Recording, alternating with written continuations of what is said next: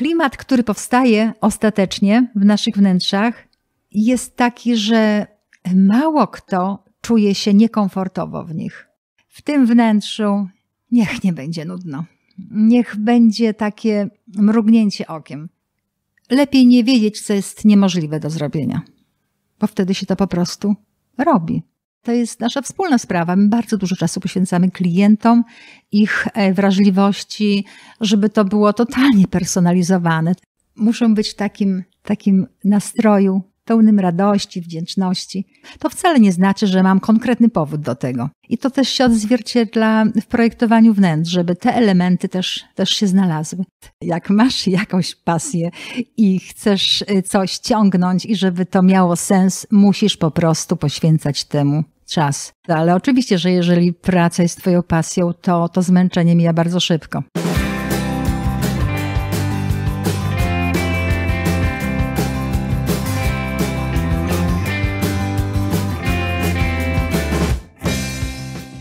Ty tu tworzysz to podcast o odkrywaniu i rozwijaniu kreatywności w różnych dziedzinach życia. Co tydzień usłyszysz w nim rozmowy z twórczymi osobowościami, poznasz ich drogę, motywacje i metody, a na koniec otrzymasz praktyczne porady do zastosowania od zaraz. Słuchaj, jeśli chcesz doskonalić swoje kreatywne zdolności, rozwijać siebie i budować lepszą rzeczywistość. Ja nazywam się Robert Pranagal i zapraszam Cię we wspólną podróż.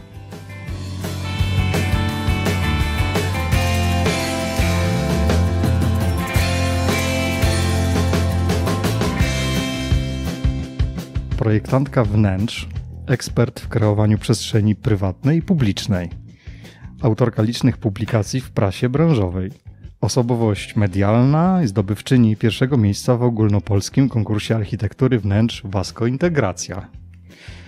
Odznaczona medalem prezydenta miasta Lublin za wspieranie młodych talentów artystycznych w Stowarzyszeniu w stronę sztuki. Prowadzi własną, kilkuosobową pracownię projektową wnętrz AB Studio, tworzącą projekty przestrzeni mieszkalnych i publicznych, które otrzymały prestiżowe tytuły, m.in. Miejsca Inspiracji. Przed Wami Anna Bedlicka-Gość. Dzień dobry, dziękuję za takie przedstawienie. E, siedzimy w zasadzie tuż obok Twojej firmy, e, w strefie architekta. To jest takie miejsce, któremu dziękujemy serdecznie za gościnę, za umożliwienie nagrania. Co to za miejsce jest? To mm, jest taka pracownia, wzorcownia. Jeżeli ktoś potrzebuje e, z architektów mieć e, chwilę spokoju na rozmowę, tet z klientami, to wtedy mamy tą strefę. Natomiast jest jeszcze bardzo ważna druga rola, to znaczy e, w strefie architekta znajdują się aktualne różne próbki różnych materiałów. To jest właśnie taka wzorcownia. Mhm. No właśnie, siedzimy tutaj, bo w Twojej firmie w samym biurze nie możemy, bo się dzieje coś. Co się teraz dzieje u Ciebie? tak, teraz trwa intensywna praca y, nad mm, już etapem wizualizacji mm, domu, który teraz powstaje. Ten dom jest y, domem z drzewa księżycowego. O, coś słyszałem o tym, to chyba z Austrii gdzieś sprowadza. Nie, tak jest, tak? tak jest. Technologia y, Tomy. Bardzo ciekawy temat i wykonujemy mm, już od kilku miesięcy te prace, dlatego że to nie tylko y, mm, ogólna, ogólna techniczna praca, a potem wizualizacje, tylko ma to pasować i koniec. Tak. Mm, co to jest to drewno księżycowe? To jest drewno cięte o określonej fazie księżyca. Tak, w, drugim, w, drugiej, w drugiej fazie nowiu i to, to jest w ogóle bardzo ciekawa sprawa, znaczy ponieważ... w sensie ścinane. Ścinane, tak jest.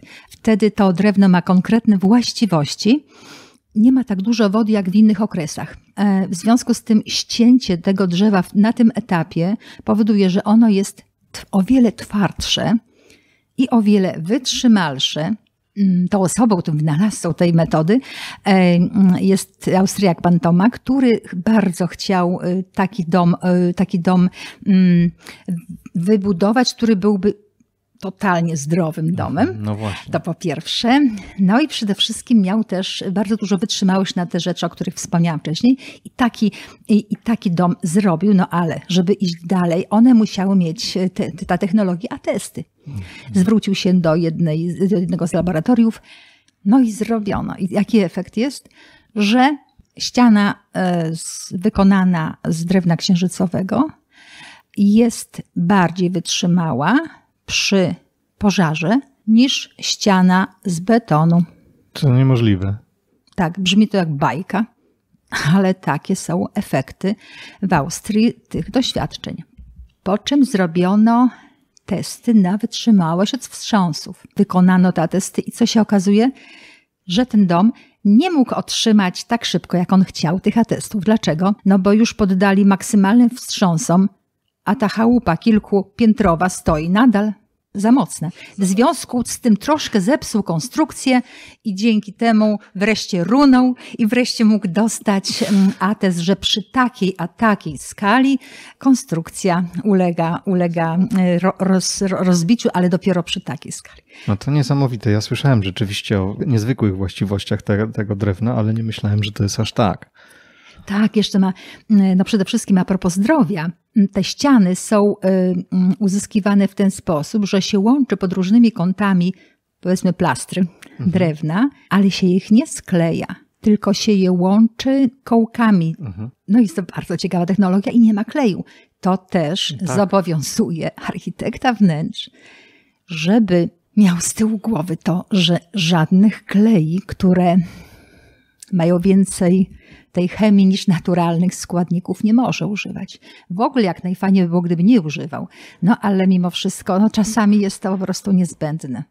Ja mam taką refleksję, że wspominam swoje młode czasy i wtedy nikt praktycznie nie wynajmował architekta wnętrz czy projektanta wnętrz. To się zmieniło, nie? W ostatnich latach. Tak. Y, taka polaryzacja nastąpiła, można powiedzieć, ponieważ Projektanci wnętrz są potrzebni zarówno przy trudnych, dużych e, realizacjach reprezentacyjnych, jak i tych małych mieszkaniach, gdzie młodzi ludzie mają określoną bardzo wąską kwotę, no i chcą nie popełnić zbyt wiele błędów, ale chcą mieć też świetne pomysły, jak to zrobić. I to jest dobry krok, że proszą biura e, projektowe, żeby im pomogli. I to jest ta jedna, jedna część klientów. Wtedy właśnie tworzy się te wnętrza z tym konkretnym budżetem dla tych ludzi, które bardzo często wyglądają nie dość, że funkcjonalnie, komfortowo i przytulnie, to tak jakby ten budżet był zdecydowanie większy. No cóż, mamy to doświadczenie, wiem jak to osiągnąć i nie popełniać tych błędów, które też kosztują. Natomiast, natomiast właśnie te duże rzeczy, no to wiadomo, to już jest, no, to są, to są realizacje bardzo wymagające już o, mm, pracując na innych materiałach. No bo panuje takie przekonanie, że usługa projektanta wnętrz czy architekta wnętrz to jest nie tania sprawa. To jest oczywiście względne natomiast jest na pewno tańsza od wszystkich tych błędów, które no właśnie, popełniamy. Dlaczego, dlaczego mimo wszystko warto zapłacić jednak? Wiesz, ja, ja mam e, takie skojarzenie z górą lodową. Na przykład powiedzmy, że budujemy dom. Hmm? Potem zajmujemy się wykończeniem tego domu i tak naprawdę zostaje nam tylko malutki czubeczek tej góry lodowej. To jest naprawdę pestka. Ale pod spodem, pod wodą jest ta większa część góry lodowej. A co to jest? To są te rzeczy, na które się narażamy, kiedy nie mamy takiego doświadczenia jak, jak projektanci. To znaczy, swój czas zamiast pracy, którą wykonujemy, angażujemy do pracy z wykonawcami, na początku z projektowaniem tego wszystkiego, poszukiwaniem tego, tych rzeczy no więc to jest konkretna, konkretna praca, która bardzo, bardzo męczy klientów. Sporo mamy klientów takich, którzy na etapie takiego budowania domu samemu przychodzą do nas z prośbą, żeby ratujcie. to dalej pociągnąć, ratujcie. Tak jest. Y, y, po prostu boją się, że, że to już jest zbyt, zbyt mm, trudna sprawa i wtedy sobie zdają sprawę, że to jednak, mm, to jest jednak bardzo duża odpowiedzialność, szkoda pieniędzy i czasu na błędy. Oczywiście, że wolimy i zdecydowana większość jest osób takich, które myśląc o budowie domu, czekając na klucze do nowego mieszkania, apartamentu, zgłasza się do nas, żeby już z nami pracować. Nie ma, jak zawsze powtarzam, e, czasu zawczesnego. Mhm. Zawsze to jest dobry czas. Mhm. I, powiedz mi, e, dla takiego człowieka, który jednak się uprze i stwierdza, ja chcę sam zrobić, nie? No to, to co byś mu poradziła? Ja wiem, że to jest trochę mm, e, e, nieopłacalne, można powiedzieć, dla ciebie, ale jednak taką radę. Nie, jednak... Jasne. Przecież nie wszyscy, przecież nie wszyscy potrzebują i nie wszyscy się zdecydują, mhm. ale bardzo dobrze, żebyśmy te wnętrza mieli jak najpiękniejsze dla nas, tak najbardziej komfortowe i funkcjonalne. I oprócz tego, żeby mm, koszty wydane na te wnętrza były realne dla nas osobiście, bo przecież są różne, różne potrzeby i możliwości finansowe. Mm, co ja bym poradziła? No. Mimo wszystko pamiętania o tym, że są pracownie, y, są architekci wnętrz, którzy świadczą usługi konsultacji. My się na tym wszystkim musimy znać, no i możemy wtedy poradzić. Wtedy po prostu jest to porada, godzina, to godzina, dwie, trzy czasami, ale tutaj się podaje pomysły, zwraca się uwagę na błędy, podaje się jakieś rozwiązania, albo prosi się o zaczekanie i kontakt z nami za kilka dni, kiedy na przykład możemy przygotować jakieś mm, rozwiązanie tej sytuacji. Nieraz była taka sytuacja, że ktoś sobie chciał to sam wykonać, poprosił nas o taką konsultację i po pewnym czasie podziękował nam, że dopiero zauważył, że y, to y, procentowało. Mm, to jest nasza wspólna sprawa. My bardzo dużo czasu poświęcamy klientom, ich e, wrażliwości, żeby to było totalnie personalizowane. E, to zawsze musi być ten czas dla ludzi i wysłuchiwanie ich pomysłów i nie, nie przesadzanie mm, czasami w naszym zaangażowaniu, w tej kreatywności, kiedy mówimy na początku klientowi o naszych pomysłach na wnętrze, bo niektórzy są tak przerażeni, jak słyszą o tym, że to tak jest skomplikowane, mhm. że po prostu. No bo to może przytłoczyć rzeczywiście. Naprawdę może, że, że mają problem, czy to w ogóle zaczynać. I to zauważyłam, nie możemy, nie możemy naszą kreatywnością przygniatać. To musi być pewien balans. Mhm. I taki klient y, może taką konsultację zamówić u ciebie. Jasne. Tak? Przez stronę tak, tak, tak. internetową? Jaka tak, to strona tak, jest? Tak, tak. Strona brzmi www.abstudio-design.pl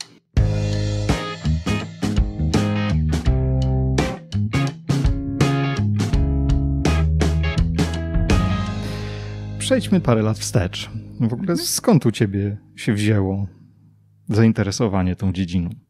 Kiedyś myślałam, że, że będę astronomem. Wow. tak, to, jeszcze, to jeszcze e, szkoła podstawowa.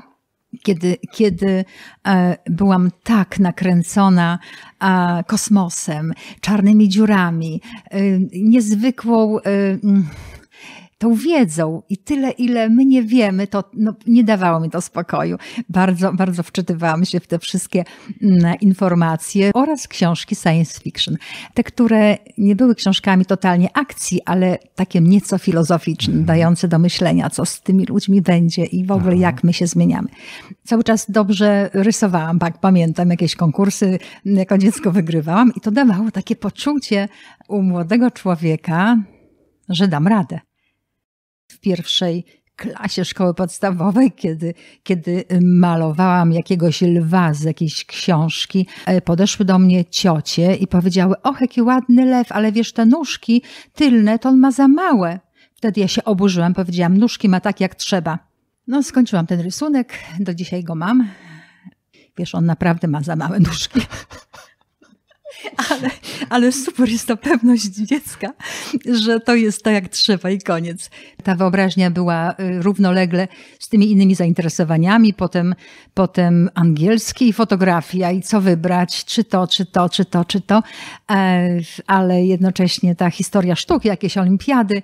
No i no i tak się stało, że trafiłam na historię sztuki. No właśnie, mam takie pytanie, bo historia sztuki, jak to się słyszy, to się wydaje mm, laikowi, że jest, jakie to nudy muszą być, nie? Weź przekonaj nas, że to nie jest tak. Ja, y, ja, takie, mm, ja takie mniemanie miałam o historii, ale historia sztuki dla mnie był już temat porywający. Pewnie to się mm, wzięło z tego, że jako, jako osoba, która była blisko różnych takich wydarzeń artystycznych, sama malowała, sama robiła jakieś wystawy, miała, miałam takowe. E, to, to, to zbliżało mnie do różnych tych, takich zainteresowań i olimpiad i w niektórych miałam całkiem niezłe osiągnięcia. I to mnie tak rozgrzewało, coraz bardziej zainteresowanie rosły. No i, i w końcu zdecydowałam, że albo zdaję na kierunek artystyczny, e, sensu stricto, taki praktyczny, malarstwo, grafikę, albo na historię sztuki. I to no było i, tu w Lublinie? Tak, to było, to na, było, na to było, tak, tak, jest. Historia mhm. sztuki była na Kulu, ale zanim ona była, to zdecydowałam się zdawać na wychowanie artystyczne. E, pracowicie przygotowywałam się, no ale nie zdałam i jednocześnie zaczęłam studiować reklamę na studium reklamy. Nie trzeba było lwa narysować na egzamin. Tylko tylne nogi. Tylko... E, no, i, no i cóż, y, mm, okazuje się, że to studium reklamy było pięknym czasem, trwało dwa lata e, i spotkałam świetnych ludzi, świetnych profesorów oraz y, no, niezłe wiadomości i umiejętności nabyłam. Ale już po pierwszym roku tego studium stwierdziłam, że no ta historia sztuki ciągle mnie pociąga. Mhm. I zdawałam, z tym, że nikomu nie powiedziałam o tym.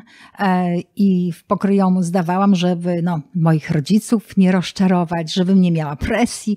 Nie wiem, co tam sobie myślałam, no ale zdawałam, a jednocześnie no niezwykle kochałam góry i, e, i już w nie mocno jeździłam raz w miesiącu na pewno, więc, więc wszystko jakoś musiałam pogodzić. Tam grałam jeszcze jakieś w drużynie w koszykówkę, no ale dostałam się.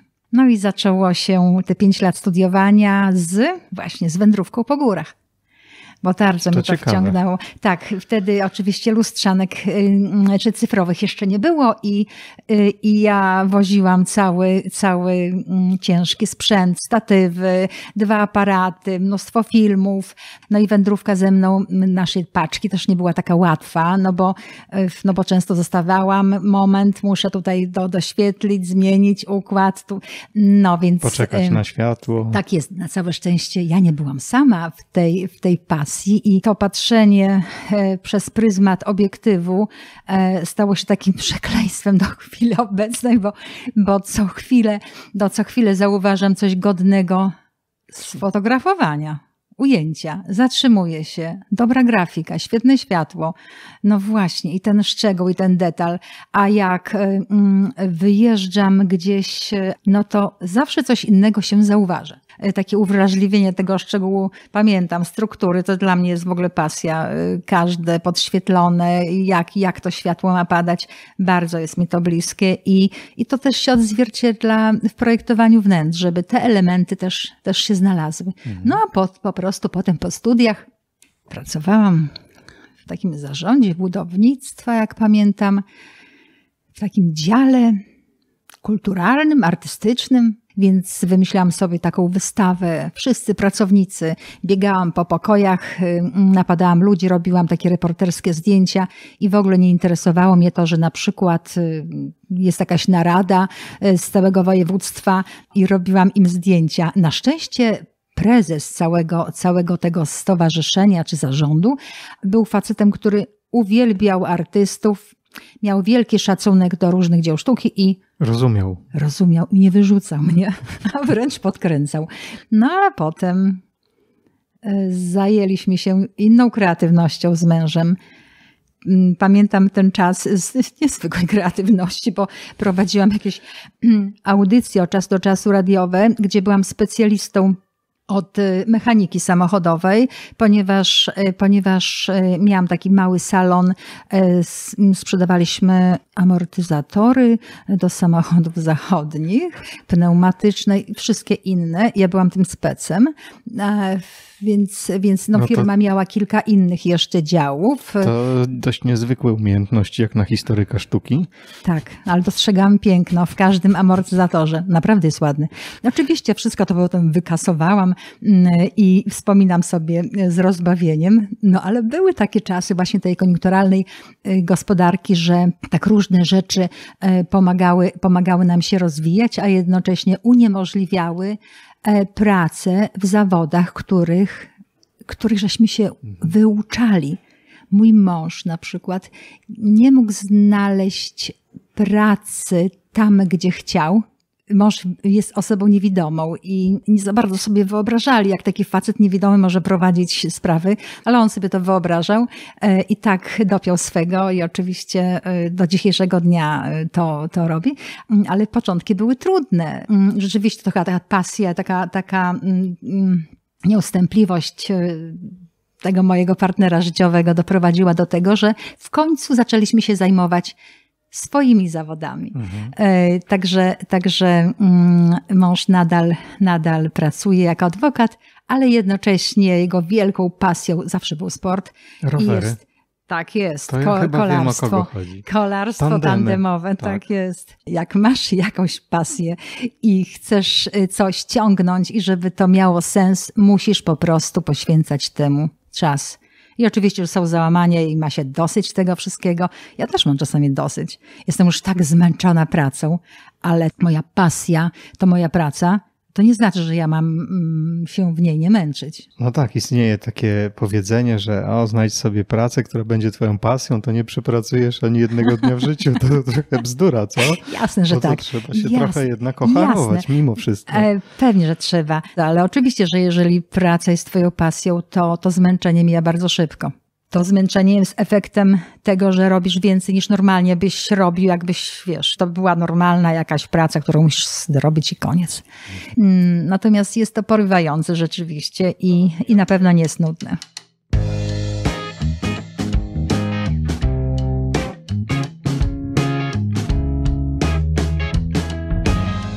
Tobie projektowanie sprawia radość niewątpliwie. Mhm. Tak. I mówisz nawet o sobie, sobie zapisałem, że jesteś ekspertem od czarowania wnętrzem. tak. Co, na czym polega takie czarowanie wnętrzem? To co masz na myśli? E, tak, e, pamiętam, że tak kiedyś powiedziałam o sobie i tak Teraz i to, już i to krąży poszło. w necie, I to poszło. tak jest.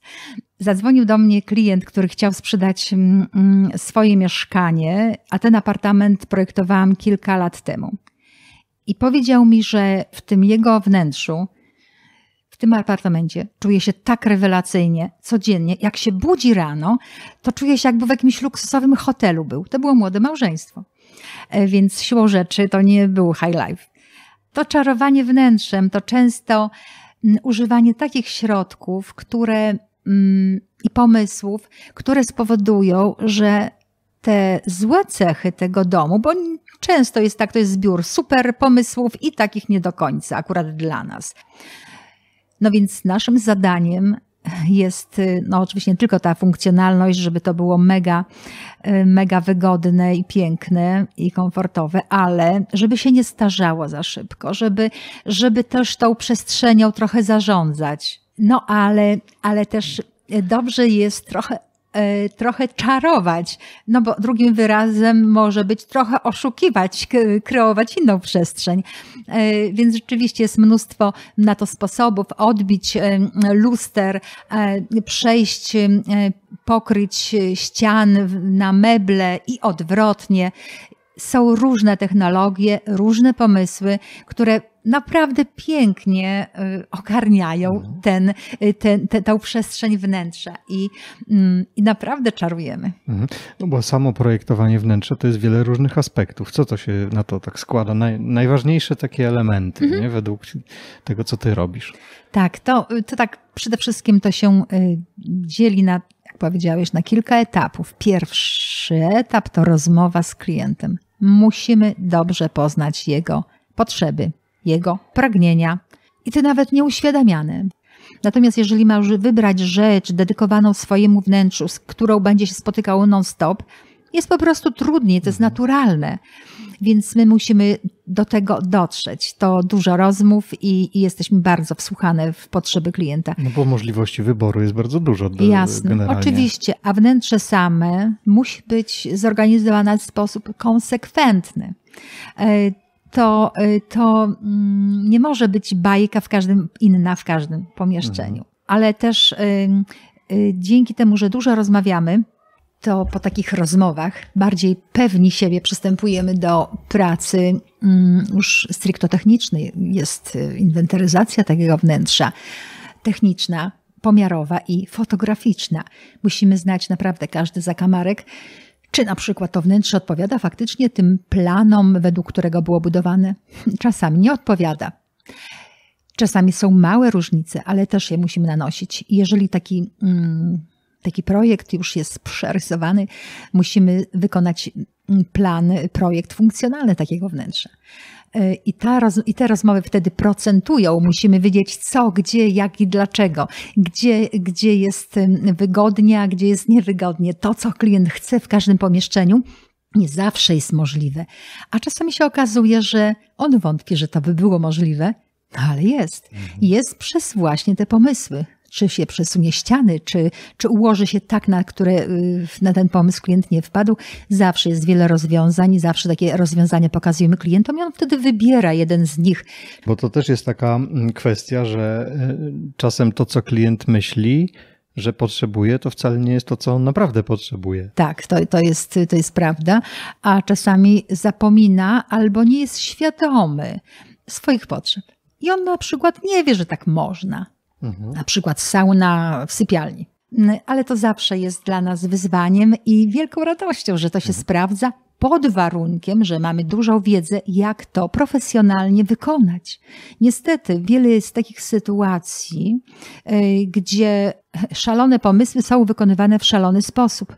Efekt jest smutny, bo to się nie sprawdza, to są problemy techniczne, wszyscy klną na ten pomysł i jest problem. Mhm. No właśnie, a zdarzają ci się na przykład takie, e, nazwę to konflikty idei, że masz, nie wiem, ty jakąś ideę, ale klient ma inną i po prostu nie możecie się zgodzić zupełnie. Czy to... Tak, tak rzadko, że nie jedno, jedną pamiętam e, taką sytuację. Oczywiście, że, że musimy przegadać pewne rzeczy. Na początku nie we wszystkim się zgadzamy. Jak w koncepcjach, e, małżonkowie czasami się nie zgadzają między sobą. Pamiętam taką sytuację, e, gdzie klienci bardzo chcieli wnętrze e, w stylu skandynawskim. Pracowaliśmy długo, klienci byli, byli zadowoleni, Benz nie byli. Już, już byli, znów nie byli. I nie wiedziałyśmy o co chodzi. No, co no chodzi, przecież no styl powszechnie znany, no to było sporo lat temu, więc może nie aż tak bardzo, ale to naprawdę to nie było nic takiego niezwykłego. Wnętrze było konsekwentnie budowane, nam się podobało. I nagle klienci, jakby ośmieleni już tą naszą współpracę, która jakoś trwała czas, zaczęli nam przynosić propozycje. Łóżko z nieohablowanego drewna, y, jakieś intarsje, takie, takie wadiridy w, stylu, w stylu właśnie mm, skandynawskim. No i co? Zorientowaliśmy się, że na początku ten nasz wywiad był ukierunkowany na sztukę skandynawską, nowoczesną. Ten, ten, ten, ten wzór mm, projektowania wnętrza tej nowej ery, tej takiej minimalizmu, y, monochromatyczności, praktyczności, dobrego wykończenia a oni chcieli wnętrze Folk w skandynawskim, bardziej. tak, takim folku. I nieporozumienie. No, no nieporozumienie. Byłam tak zszokowana z tym, tym, że znaczy nie zdenerwowałam, tylko byłam tak zszokowana, że im o to chodziło. I to było przedziwne, że na początku tego żeśmy nie wyłapali w ogóle nie było takich pytań. Dlaczego? Dlatego, że klienci nie zdawali sobie sprawy, że taki, że to, że to się różni. O, mhm. że to się różni. E, od siebie i dopiero jak mieli konkretne propozycje, to im coś nie pasowało. Tak, nie wiedzieli nawet pewnie sami co dokładnie. Tak, także takie mam doświadczenie również. A co to znaczy? Y, że nigdy nie zadość tych rozmów i wnikania w potrzeby mhm. klienta. Bo potem to już my, nie? To, mhm. to potem już robimy już projekty elektryki, projekty hydrauliki, kiedy już wszystko jest sklepnięte, zatwierdzone, a, a my wiemy, że tak można wykonać, przystępujemy mhm. do wizualizacji, do znajdowania potem wszystkich tych elementów w świecie realnym, przeliczania, rozrysowywania wszystkich elementów na podłodze, na ścianach. No i potem, kiedy już jest całość, całość tych teczek zatwierdzonych, przystępujemy najczęściej do nadzoru autorskiego takiej realizacji. Żeby to, co myśmy wymyślili, a klient nam zatwierdził, było zrealizowane z należytą starannością. Także y, ja na miejscu klienta zawsze chyba chciałabym, żeby pracownia projektowa mm, Pilnowała prowadziła tego. nadzór Mhm. autorski nad tą, nad tą y, inwestycją. I tak najczęściej jest. Ale czasami klienci się mm, decydują na to, że jednak sami tu będą kreatywni i będą, będą y, na podstawie gotowego projektu to realizowali.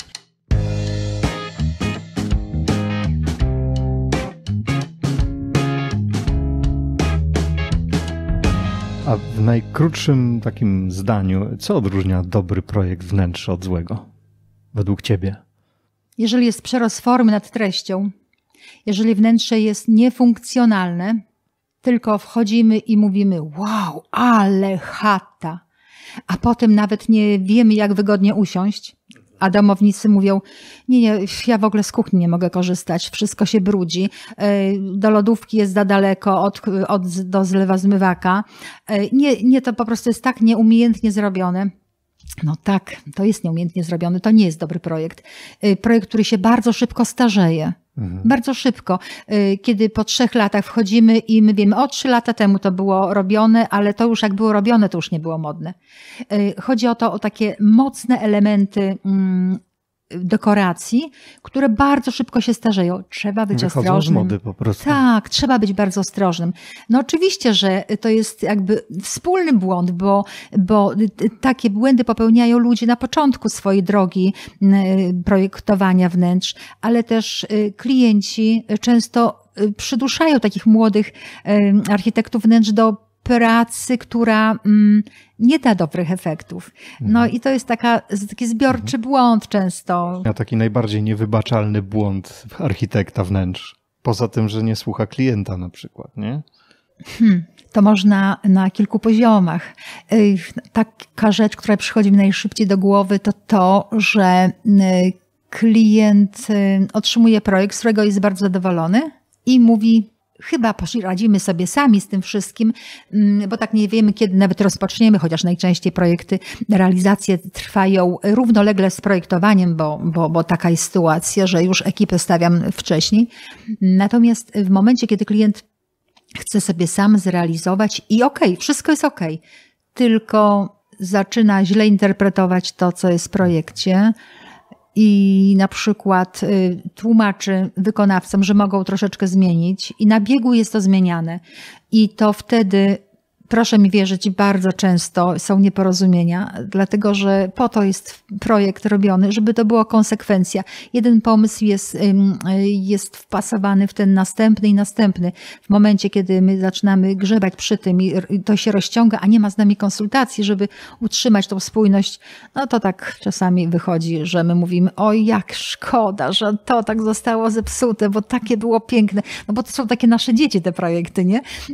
I, i oczywiście oczywiście, oczywiście ja pamiętam, kiedy mi było tak szkoda strasznie, że aż łzy miałam w oczach, że klient sobie z, z pozmieniał, a ja tak, tak strasznie y, długo pracowałam i taki był dobry projekt. No więc to są takie emocje, mhm. to są takie emocje, które ma się, nie wiem, czy na początku pracy projektanta, czy to towarzyszy w całym życiu, no ale to jest, to jest rzecz, która intensywnie towarzyszy wielu osobom. Mhm. A co się składa na styl? Bo każdy projektant ma swój styl w pewnym sensie, nie? Jest coś takiego jak styl pracowni na przykład? Taki wypracowany styl? Myślę, że, myślę, że każdy projektant, który mm, jest zaangażowany w swój zawód przez wiele lat, to ten styl posiada. Ja również. Tylko, że to nie można utożsamiać z takim kreowaniem stylu, jak jest powszechnie używany, że na przykład ktoś y, lubi y, wnętrze pałacowe i to tylko takie pałacowe, takie totalnie glamour wykonuje, w ogóle żadnych innych nie. I jeżeli ja przychodzę, chcę pewien minimalizm, jakiś oddech, czy skandynawski styl, czy, y, czy japonizujący, to i tak ten klient mnie przekona do tego, tego glamour. To nie o to chodzi bo to są konkretne style, które, które ciągle nowe powstają i jesteśmy, jesteśmy wierni temu albo temu stylowi. Natomiast styl projektanta, moim zdaniem, każdy może mieć inne, to jest, to jest, że my czujemy, że te rozwiązania są bardzo funkcjonalne, ale jednocześnie szalenie piękne dla klienta. Klimat, który powstaje ostatecznie w naszych wnętrzach, jest taki, że mało kto czuje się niekomfortowo w nich. Natomiast wsłuchując się w klienta, uważam, że pracujemy dla niego. Nie możemy mu narzucać naszego stylu. Dlaczego? Dlatego, że to nie jest restauracja, to nie jest biuro, to jest jego indywidualny, e, indywidualna przestrzeń, przestrzeń intymna. I jak on zostanie sam ze sobą, on poczuje, że się źle w tym mhm. czuje. Ten styl czasami można wyczuć e, w miejscach publicznych, po dokładnym przyjrzeniu się. Ja czasami mam pytanie, Aniu, czy tą restaurację to też e, Twoja pracownia projektowała? Notabene e, niedawno zostały mm, rozdane mm, prestiżowe tytuły Miejsca Inspiracji mhm. i kolejne restauracje mm, mojego projektu zostały nagrodzone. Pochwal się. Kiedyś, może tak zacznę od początku, bo pierwszym, w pierwszej edycji zostało nagrodzone miejsce, to była Cafe Marie przy Skłodowskiej. Potem następna edycja Parzona. Krakowskie. Krakowskie, tak, krakowskie przedmieście. A w tym roku aż dwie restauracje otrzymały, moje restauracje otrzymały ten tytuł. To jest e, Za kulisami, za kulisami bardzo elegancka restauracja, która e, znajduje się w centrum spotkania kultur. Czarny fortepian, piękna muzyka na żywo, klimat właśnie taki za kulisami. Czerwone obicia krzeseł, foteli, e, czarne zasłony, no i Zapraszam, to zobaczcie Państwo. No, tak, natomiast natomiast drugie, drugie miejsce jest też bardzo interesujące, bo ustyłowane jest na Starym Mieście Perliczka Gościnność Polska. Mhm. To wnętrze w kamienicy, gdzie kiedyś była pierwsza mandragora, ale pragnienie właścicielki było takie, żeby, żeby jednak klimat był inny od mandragory, bo klienci wchodzą i chcą mandragory, nie wiedząc o tej nowej restauracji. Chodziło o to, żeby oczarować im czym, ich czymś innym. Stąd mój pomysł, żeby te barwy tam były bardzo intensywne, żeby to rzeczywiście się odróżniało e, stylem, ale niezależnie od tych barw, które, które są bardzo mocną stroną e, tych wnętrz, zaproponowałam tam dwie wystawy. Mhm. W jednej sali wystawa prac polskiego kolorysty, który tworzył za granicą Polski, Jana Skorba. Natomiast po prawej stronie e, wisiały prace Tymoteusza Toczyńskiego, i te prace to indywidualnie potraktowane e, kamienice Lublina, dachy, takie bardzo mocne malarstwo, duże, formatowe. I tutaj bardzo, bardzo to ciekawie zagrało. Więc y, cała moja radość, że, że zostały te rzeczy docenione, bo rzeczywiście są tego godne. Chciałam jeszcze wspomnieć, że, że czasami te zlecenia nasze są tak odmienne, jakie różne przestrzenie są nam zaproponowane w dosyć krótkim czasie. Na przykład jesteśmy autorem projektu wnętrz targów Lublin. Jednocześnie też mm, prowadziliśmy pracę nad siedliskiem, taką agroturystyką. To jest zupełnie inny klimat oczywiście od takich targów. Lublin zupełnie inne są wytyczne przecież. E, I pracując mocno przy targach, odpoczywaliśmy potem przy, tej, przy tym siedlisku i odwrotnie. Płodozmian. Tak. tak jest, masz rację, to był płodozmian. E, także bardzo, bardzo są różne e, zlecenia i wielka radość, że to, że to dobrze potem służy. Mhm. A powiedz mi, no bo w Twojej pracy to nie tylko Ty musisz być kreatywna, cały zespół Jasne. musi być kreatywny. I e, jakie cechy musi mieć ktoś, kto dołącza do Twojego zespołu? Przede wszystkim ja mam takiego farta do ludzi. Takich spotykam interesujących, kreatywnych i a, takich pięknie wewnętrznie. Y, Co to znaczy? Co to znaczy? Dobrze się rozumiemy. Zależy nam na tym samym bardzo często. Razem czujemy się odpowiedzialni za rzeczy, które wykonujemy. Sprawiają nam niesamowitą radochę, jak to wszystko wychodzi. Razem bardzo szanujemy klientów. Dzięki temu ja mogę też realizować swoje inne pasje. ponieważ wiem, że odpowiedzialni ludzie pracują z klientami dalej. I ja wtedy, kiedy jestem potrzebna, się pojawiam, ale jednocześnie mogę wyjechać.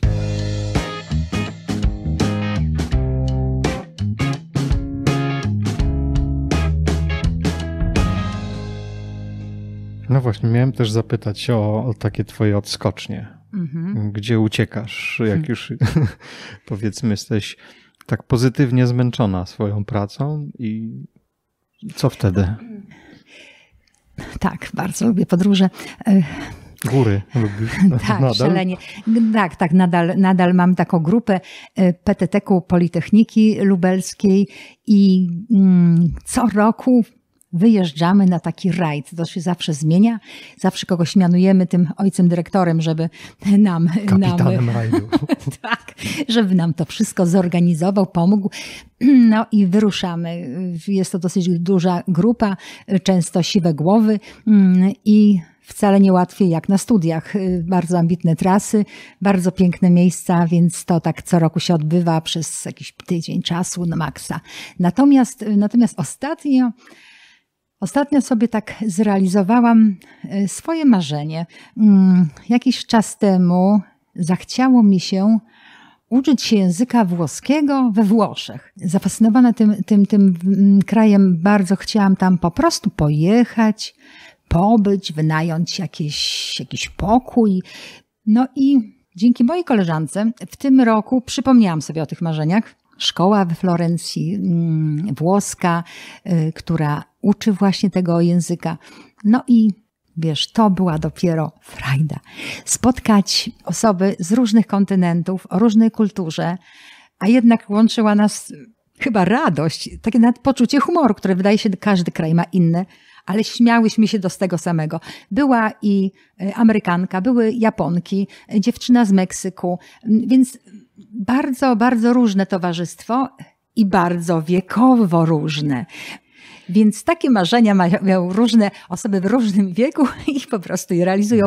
Także potem, po, po, po zajęciach, po, po południu, rzucałam się na miasto tak cudowne, przecież tak to się mówi o Florencji, największe muzeum zewnętrzne, bo tam co budynek to, to piękna rzecz. I rzeczywiście to było dla mnie i pod kątem tych wrażeń estetycznych, e, i tak i historycznych, i, i nauki, i poznawania ludzi, i tych detali, i fizycznym, bo wszystko na piechotę, e, i poznawania rodziny włoskiej, bo tam właśnie e, mieszkałam, więc to wszystko razem było dla mnie wielką radością, że mi się to udało zrealizować. Bałam się tam wyjeżdżać, ponieważ ja nic zupełnie po włosku nie potrafiłam.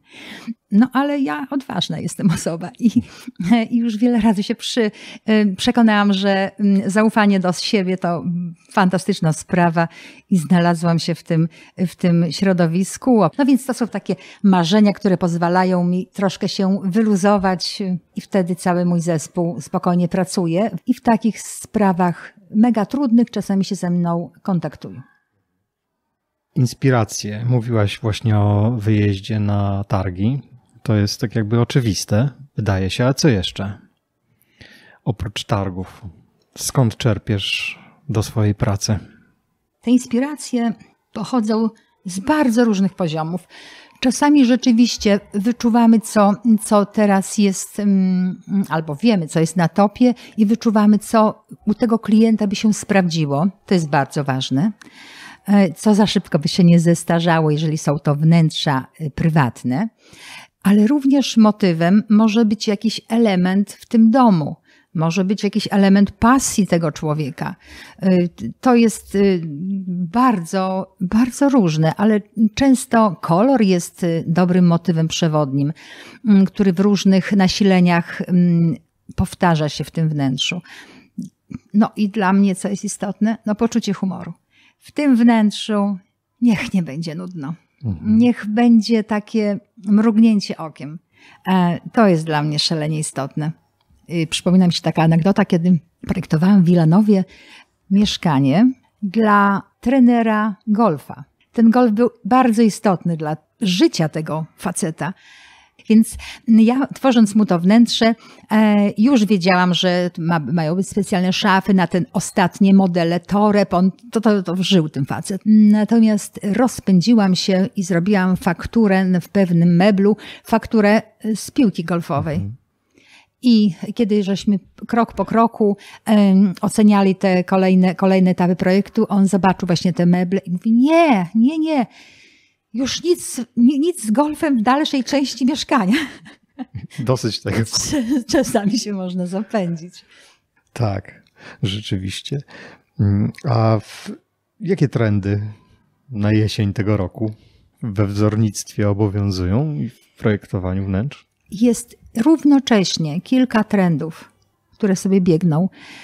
I takie może najbardziej mm, łatwym do zauważenia i dla mnie takim mainstreamem jest trend w przestrzeni barw.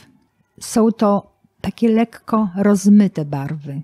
Rozmyte zielenie, błękity, brązy, róże pudrowe, ale to jest te wszystko takie przypruszone.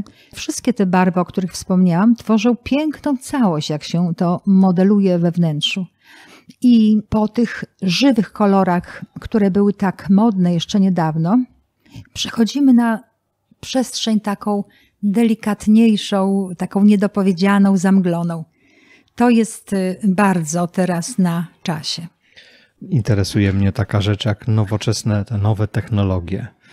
Czyli mhm. na przykład, y, nie wiem, domy inteligentne, internet rzeczy, wykorzystanie może nawet sztucznej inteligencji w projektowaniu. Jesteś w tym trendzie, czy raczej no, we odsuwasz się We wszystkich tego. nie, absolutnie.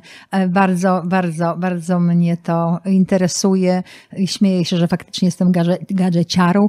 Z takich różnych rzeczy y, bardzo chętnie korzystam. Natomiast Oczywiście, że, e, że a propos technologii, tak jak smart home, to jest już no, na porządku dziennym i one y, już normalnieją dla y, normalnego zjadacza chleba. I w domu 90-metrowym już spokojnie system domu inteligentnego można zastosować i konkretne korzyści mamy i oszczędność energii, i dobre zarządzanie, i y, y, tą zmienność pod kątem naszych potrzeb. Nie trzeba kuć ścian wtedy. Po prostu przeprogramujemy, zmienimy y, zestaw e, zewnętrzny. Więc to jest e, bardzo, bardzo teraz częste i zawsze wprowadzamy w klienta w różne technologie, żeby przyjrzał się temu, czy on ma ochotę na to. Przyprowadzamy zawsze specjalistów do pracowni, którzy właśnie w tym siedzą, przybliżają ten temat i wtedy klient może po prostu z rozwagą dokonać wyboru. Świadomie. Bo absolutnie, bo, bo wie, że okej, okay, dom inteligentny, fajna sprawa, kręci mnie to strasznie, ale ja jednak nie. Ja jednak jestem tradycjonalistą. Nie, jednak nie chcę. Okej, okay, ale facet wcześniej usłyszał, jak to wygląda, no i jak to działa. Te nowe technologie ciągle się pojawiają. Bardzo dużo jest różnych technologii, od hydrauliki, poprzez światło, poprzez pokrycia ścian, poprzez meble. Kiedyś nie znano spieków kwarcowych, bo one nie istniały. Mhm a teraz te płyty ceramiczne grubości 3 mm albo i 10 są zastosowane wszędzie. I to jest też rola projektanta, żeby przekonał, sam będąc przekonany, że to ma sens, że użycie takiej technologii albo takiej faktury w tym miejscu, albo zainwestowanie takich pieniędzy w tym miejscu ma sens. Mówi się, że ograniczenia sprzyjają czasem kreatywności, ale w, wydaje mi się, że w Twojej pracy i nie tylko w Twojej pracy coraz mniej tych ograniczeń jest, nie? Coraz większa jest swoboda. Hmm, tak, zdecydowanie jest coraz mniej ograniczeń, zarówno finansowych, jak i technologicznych. Jeżeli chciałam wykonać w pięknym, dużym domu na wyspie w kuchni nalewak do Prosecco w pięknym designie, no to taki wykonałam. Ja mówię o taki, takim mm, może ekscentrycznym dla niektórych pomyśle, ale jak to fajnie wygląda mm. i jak smakuje no takie tak. prosecco rano, jak to mówiła moja klientka. Więc to, to rzeczywiście, no po prostu jest dobra zabawa domem.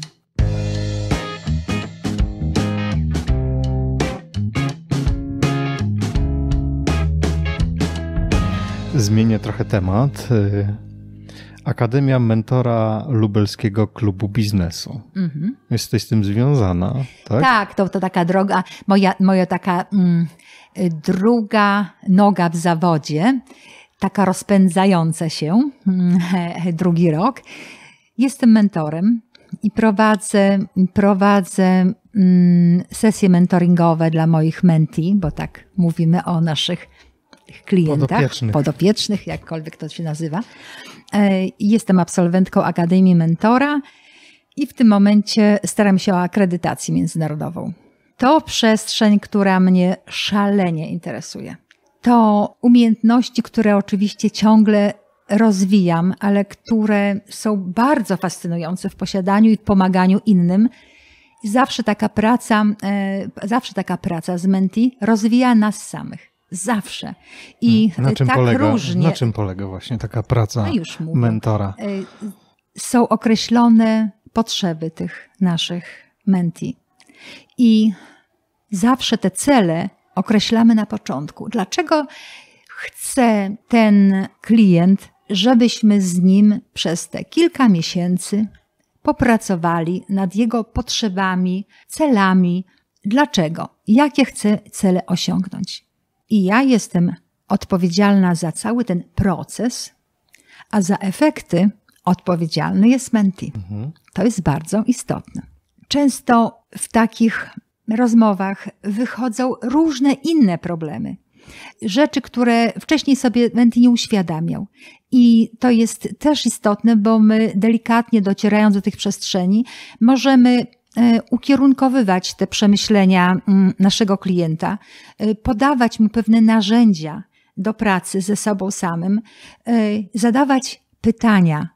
I często oni sami, tak ukierunkowani, odpowiadając sobie imi, odkrywają rzeczy, które po prostu są. One mają wartość dla nich, a przecież sami o tym powiedzieli. Dlaczego? Dlatego, że przechodzą ten proces dochodzenia do tych rozwiązań z nami. Czy to jest dziennikarz, czy to jest pieśniarka, artystka, czy, y, czy to jest y, mm, człowiek, który pracuje w branży IT, więc tak różne, odległe od siebie zawody, tak mają różne cele i różne drogi dochodzenia do nich. I taka praca y, pomaga mm, je uzmysłowić, wydzielić te, te drogi, co warto, a co nie warto, co jest ważne, a co nie jest ważne. Hmm. I tutaj bazuję na swoim wieloletnim doświadczeniu, ponieważ ja nie muszę się znać na śpiewaniu operetkowym. Ja nie muszę być dobrym dziennikarzem, żeby ten proces profesjonalnie przeprowadzić. Uczestniczyłam, jak już opowiadałam, w prowadzeniu różnych e, zawodów, no właśnie, ale... kto korzysta na przykład u ciebie z takiego mentoringu? No właśnie, tak jak wspomniałam. Takie zawody, można tak powiedzieć, to są mężczyźni i kobiety. E, czasami jest to osoba, która studiuje, a czasami jest to osoba od wielu lat już pracująca. E, są to mężczyźni i kobiety, są to młodzi ludzie i starsi, są to osoby poszukujące i rozwiązań, i osób, które by im towarzyszyły w tym rozwiązaniu. A więc są to osoby otwarte. Często są to osoby, co jest bardzo istotne, z zasobem sprawczości. Mhm. I taki mentoring, on może jakoś sprzyjać kreatywności ludzi, czy to raczej jest proces, który nie ma z tym nic wspólnego? Ma bardzo dużo. Pracowałam, e, pracowałam z menti, który mm, dla mnie był człowiekiem renesansu. To znaczy, to znaczy y, znał się i pracował w tylu różnych e, profesjach, e, że byłam pod mega wrażeniem i interesował się różnymi rzeczami i chciał konkretnej rzeczy, chciał się ukierunkować wreszcie, żeby mm, nie rozmieniał się na drobne. Niezwykle kreatywny facet. I pracowaliśmy kilka miesięcy i rekomendacja, którą otrzymałam od tej osoby, no, potwierdza to, że to ma sens i cel został osiągnięty, za który to odpowiedzialny jest właśnie Menti. Więc dla mnie to było bardzo ważne doświadczenie, no i mnóstwo satysfakcji. Czyli warto się zainteresować mentoringiem. Tak, mhm. warto. Mhm. Ten temat trochę y, wiąże się z, z, innym, czyli tym medalem od prezydenta miasta, o którym mówiłem, za wspieranie młodych talentów. Hmm, tak. Powiedz coś o tym. E, Stowarzyszenie w stronę sztuki to stowarzyszenie, które od początku miało za zadanie pomagać młodym, utalentowanym ludziom w rozwoju ich kariery. Nie było często możliwości w szkołach muzycznych, ani w szkołach plastycznych zapewnić y, takich bodźców rozwoju tym osobom. Stowarzyszenie w stronę sztuki zorganizowało ponad 200 koncertów tym osobom. Czyli to takie otwarcie drzwi trochę było dla nich? To było otwarcie drzwi. Ta, y, mm, ta działalność wygasła niedawno stosunkowo, ponieważ pani prezes Anna Fornal z racji wieku zrezygnowała już z prowadzenia tejże fundacji powołanej przez nią, tego stowarzyszenia i zostało powzięte takie, y, takie jednak postanowienie, że żeby zamknąć stowarzyszenie w stronę sztuki, ponieważ nie ma tak naprawdę następcy, który by w takiej organizacji non-profit całym sercem i ciałem zorganizował to wszystko tak, żeby poświęcić siebie e, tejże pracy. A taką osobą była pani Anna. I rzeczywiście wiele lat jej działalności to, to wielka pasja w tworzeniu, pomaganiu tym ludziom. I do tej pracy zwerbowała bardzo dużo osób ze środowiska artystycznego, naukowego, wydawniczego, prawniczego, medycznego.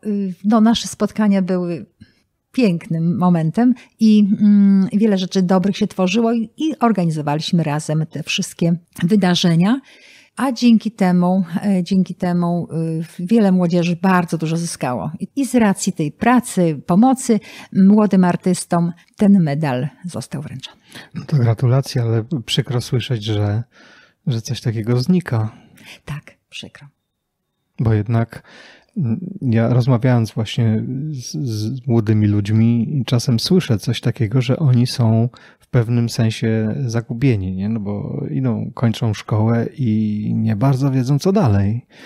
Właśnie nie ma im kto otworzyć tych drzwi. Tak, to jest przykre, ale e, z pełną świadomością powzięliśmy wszyscy tą decyzję, bo jak powiedziała pani Anna Fornal, na takim poziomie, żeby prowadzić to stowarzyszenie, a było na mega wysokim, w tym momencie nie było nikogo, kto by tego się podjął. Natomiast tutaj e, główne zdanie miała pani Anna, która powiedziała, że boi się, że mimo wszystko nie utrzyma stowarzyszenie takiego poziomu. I e, nie chciałaby, żeby to się wykoślawiło, mhm. ten jej, ten, to, to jej dziecko, ten jej twór, ta, e, ta piękna, ta piękna inicjatywa inicjatywa, szukałam mhm. właśnie mhm. wyrazu. No więc, no więc y, teraz mamy piękne wspomnienia i artystów, którzy może i dzięki temu poszli w świat z taką piękną umiejętnością. Mhm. No jak ty w ogóle oceniasz takie środowisko dla kreatywnych ludzi w tej chwili? Ja akurat, y, ja akurat te środowiska kreatywne widzę i bardzo jestem pod wrażeniem. Jedno z nich na przykład to jest y, Fundacja Rozwoju Designu Lucreate. Przy Krakowskim, przy Parzonie.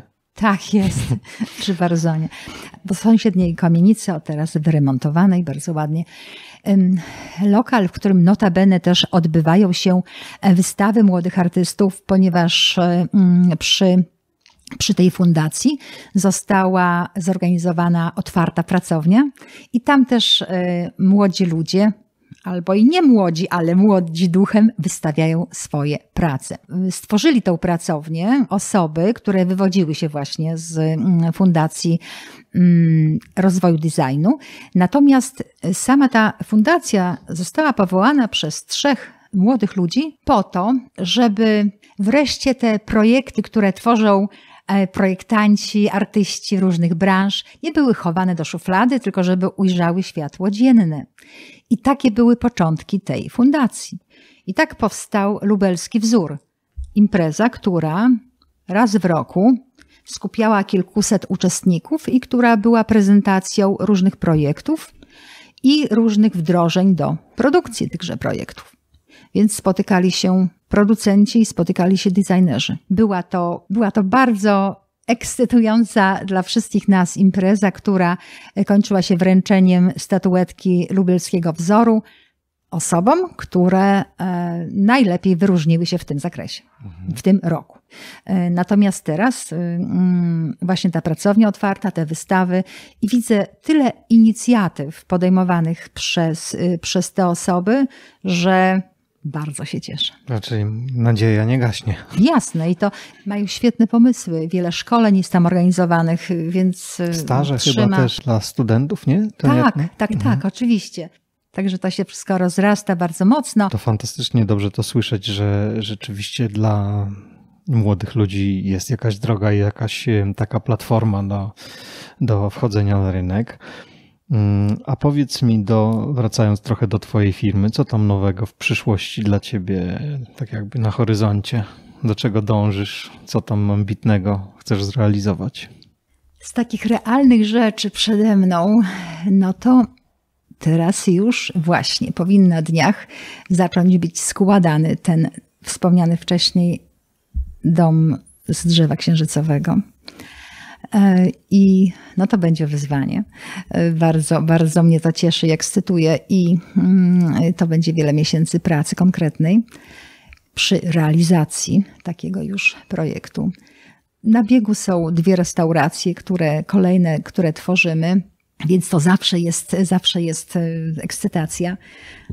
No, jest wiele domów i mieszkań, które, które po prostu w pracowni powstają. Jest jakby normalnym, normalnym trybem to wszystko biegnie. Więc tej pracy jest dużo.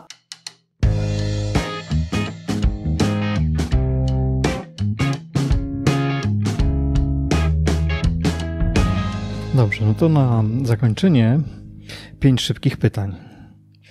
Pierwsze, w, twojej, Twoim własnym zdaniu doświadczeniu, przemyśleniu, inna niż w słowniku definicja kreatywności? Dla mnie kreatywność, mm, a nie znam oficjalnej definicji kreatywności, ma ogromną przestrzeń na radość, wolność, a takie slow.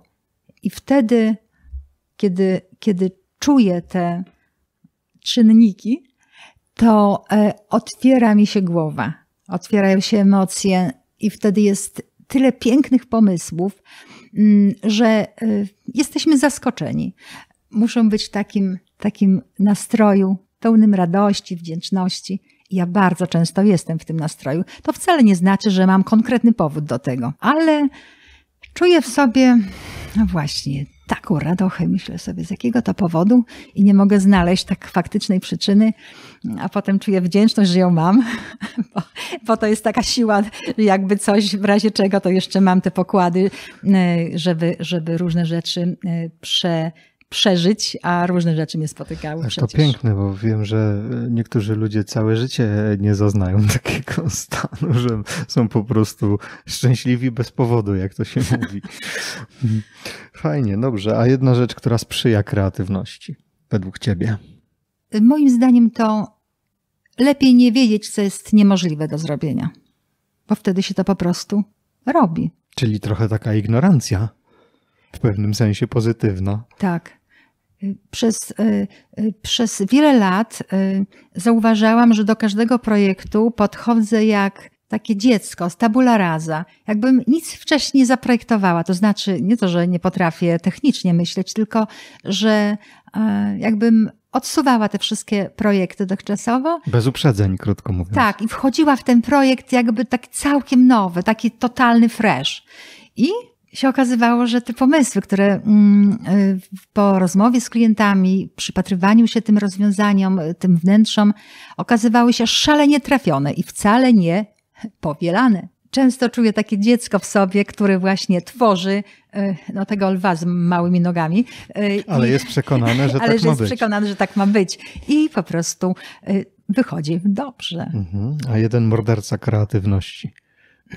To chyba taka nakazowość projektowaniu od strony często klienta. ja od razu zaznaczę, że ja jestem mega wdzięczna moim klientom. Natomiast są osoby, które zupełnie mm, nie uświadamiając sobie, bardzo mocno nas gaszą. Dlaczego? Dlatego, że ograniczają w ten sposób naszą kreatywność, mówiąc nie, absolutnie tak nie może być. Dlaczego? No bo tak. To prawie jak z twoimi nogami u lwa. Tak jest. Nie no to najczęściej. Trafił swój na swego. tak jest, masz rację. W momencie, kiedy, y, kiedy klient bardzo jest związany z tym i koniecznie chce, no to tak będzie. Ale często jednak jest to przeciwko niemu samemu się obraca. I to rzeczywiście trochę gasi tą kreatywność, no bo nie można, nie można, nie można już dalej. Na szczęście zdarza się to rzadko. Więc to jest właśnie takie cięcie kreatywności architektów wnętrz. Dobre wrogiem lepszego. tak jest. To czwarte, jeden sposób na wykorzystanie kreatywności w życiu codziennym.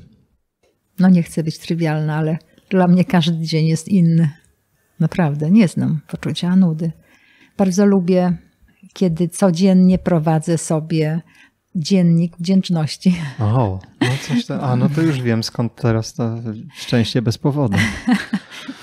Ja nie wiem, czy to stąd, bo ponieważ jego zaczęłam prowadzić jakiś czas temu, już dawno, zauważając, że coś takiego we mnie siedzi. Natomiast kolega podpowiedział mi mm, takiej naszej grupie biznesowej, że, że on coś takiego robi i, i proponuje, żebyśmy też zaczęli, bo no to każdego powiedz, na czym dnia. to polega? Bo każdego dnia. Bo kiedy, to jest na pewno rzecz, którą kiedy sporo kładziemy, ludzi może, tak, ludzi może skorzystać no jasne, z jasne, tego. bajecznie No łatwe teoretycznie, ale każdego dnia, kiedy kładziemy się spać, na e, stoliku obok leży nasz zeszyt z długopisem i piszemy sobie pięć rzeczy, za które jesteśmy wdzięczni tego dnia. Ręczę ci, że znajdziesz te pięć rzeczy. To nie muszą być takie piękne, olbrzymie, jak zakończenie projektu i opicie tego pięknego momentu szampanem, ale tak poważnie, to mm, powiedzenie kilku miłych słów komuś i zauważenie, ile radości sprawiliśmy tym komuś, super. Zawsze są takie rzeczy i wiesz, jak pospisujesz sobie tak kilka i będziesz konsekwentny, no to tak przeglądasz do licha. Nieźle, nie? Tyle tych rzeczy. Tak, No. czytałem, czytałem kiedyś o tym i mm, podobno że są tacy ludzie, którzy faktycznie mają z tym problem, żeby zacząć to. Tak jakby nie potrafią się przestawić na to, że, że, Zacząć że jest, bardzo no. trudno. Wszystko jest trudne na początku, nie ten pierwszy krok już. Mówiąc trywialnie, też jest bardzo trudny. Tak, To ciekawe rację. bardzo. To, ciekawe. jest No, trudne. No to bardzo się cieszę, żeśmy o tym porozmawiali. A- jedna rzecz, którą słuchacze mogą robić od zaraz, żeby rozwijać swoją kreatywność. Kupić zeszyty ołówek i zacząć pisać wieczorem pomysły, które zrodziły się ich w głowie i nie są związane z ich pracą. Jedna rzecz może być taka nawet, że wsunięcie tego krzesła pod stół odruchowo bardzo mi ułatwi pracę w tym pomieszczeniu. Przestanę się wreszcie uderzać w nogę non-stop. Albo, hmm, no przecież mogę codziennie zbiegać sobie po schodach, a nie wsiadać do windy, nie? Albo coś innego osiągnąć, albo rzeczywiście jakąś kreatywną, kreatywną mm, y, myśl zapisać związaną lub narysować związaną y, z pomysłem, który nam przyszedł do głowy. To na różnych poziomach jest. Może być i takim właśnie, jak mówiłam, trywialnym i może być bardzo zaawansowanym. Ten nawyk jest dla nas bardzo rozwijający. Bo on zmienia sposób działania naszego mózgu potem, nie? Tak jest. To jest bardzo ciekawe. Ale też ja myślę, że tu warto dopowiedzieć, tak mi przyszło to na myśl, że y, zapisując takie pomysły, to warto jest ich nie oceniać na początku, nie? Tylko Absolutnie. po prostu zapisać cokolwiek przychodzi ci do głowy. Święta racja. Nie, nie myśleć sobie, ale głupie. nie będę się wygłupiał przecież. Albo, albo na przykład, mm, no, to mi przyszło do głowy, nie, to, to jest po prostu nie do ogarnięcia. To, to musiał chyba siedzieć trzy lata w laboratorium. Ale co mi szkodzi zapisać? Nic nie kosztuje tak naprawdę. Fakultatywnie jakaś swobodna wypowiedź, jakbyś chciała na temat kreatywności, to proszę bardzo.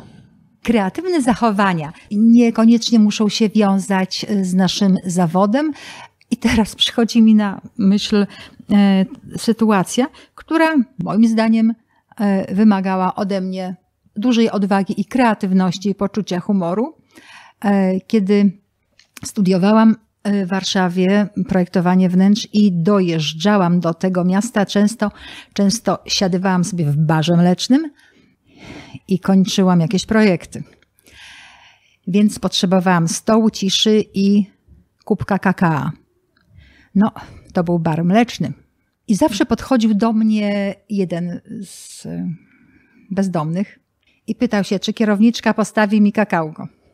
Po którymś razie wpadłam na pomysł, bardzo kreatywny. Powiedziałam, że oczywiście, że mu postawię kakałko, ale ma też obowiązek pilnować mojego spokoju wokół stolika, żeby żadna tu konkurencja jego nie przychodziła po następne kakałko. Nie uwierzysz, jak się facet przejął. Mogłam w spokoju projektować. Jakiś gość chciał koniecznie przerwać mi pracę i coś tam ode mnie wyłudzić.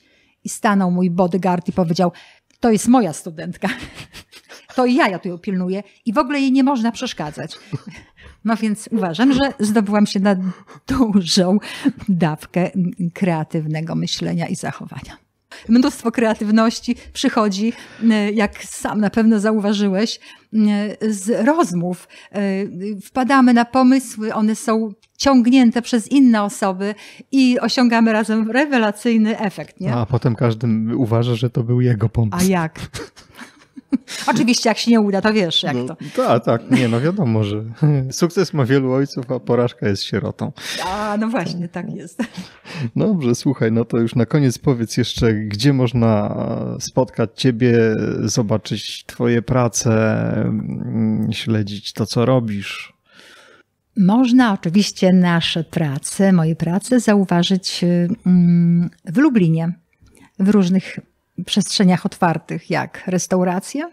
Dlatego też zapraszam i do Perliczki, i do Małych Indii, i do El Tiempo, i do e, Za kulisami w CSK, i do Parzony, i do Cafe Marie. E, na pewno coś pominęłam, ale, ale to, takie, mm, to takie rzeczy, które można zerknąć, posiedzieć, e, zawsze jest, zawsze jest to dobry czas dla nas samych, ale również, ale również e, mm, na stronę też internetową. Aha, no to jeszcze raz adres. www.abestudio-design.pl mhm. Na Facebooku też coś rządzisz? Tak. Dobrze, to te linki, które uznasz za stosowne, po prostu nam przyślesz, umieścimy Dobrze. to w opisie, Dobrze. żeby można było sobie kliknąć. E, mamy też na Facebooku grupę, która jest skupiona wokół podcastu. Dasz się mhm. zaprosić? Z wielką przyjemnością. No to już zapraszamy, dodamy cię na pewno i, i tam będzie można, będziesz mogła swoje rzeczy też publikować, czy odpowiedzieć na jakieś pytanie. Więc bardzo się cieszę. I cóż, no, bardzo Ci serdecznie dziękuję za tę rozmowę. Y, bardzo była dla mnie rozwijająca, dużo się dowiedziałem, nowych rzeczy. I z przyjemnością słuchałem tego. Dziękuję Ci bardzo. Ja również bardzo dziękuję za ten czas. Tobie, słuchaczko i słuchaczu, dziękuję za wspólnie spędzony czas. Jeżeli było to dla Ciebie wartościowe, polub, subskrybuj, komentuj Zajrzyj na tytutworzysz.pl, dołącz do grupy Tytu Tworzysz Społeczność na Facebooku, gdzie możesz zostawić komentarz dla naszego gościa lub zadać mu pytanie. Powiedz o tym podcaście znajomym. Pomożesz naszej społeczności rosnąć, rozwijać się i docierać do osób, które mogłyby skorzystać. Pamiętaj, to Ty tworzysz swoją rzeczywistość. Wszystkiego dobrego i do usłyszenia w następnym odcinku.